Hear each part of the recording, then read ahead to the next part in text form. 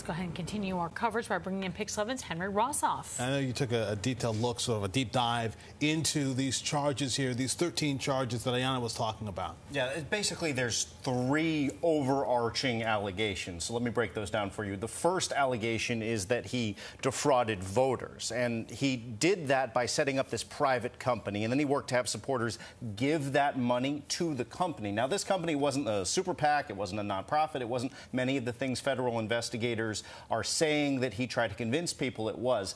And by uh, getting that money, he uh, then took it out and used it for personal gain. Ayanna outlined some of this to pay off personal debts, uh, a car payment, designer clothing. So with this first allegation, the charges that are linked to it are as follows, and we have them on a full screen for you. He's facing eight combined counts, five counts of wire fraud, and three counts of unlawful um, uh, money transactions. Okay.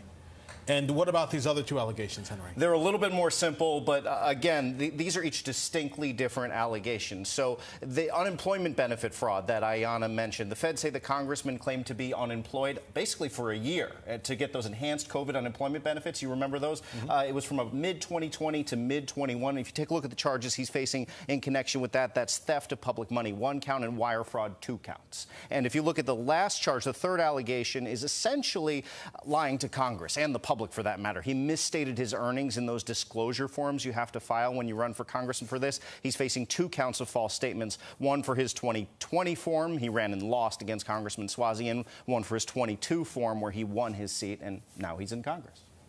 All right. Henry, thank you so much for thank that. You.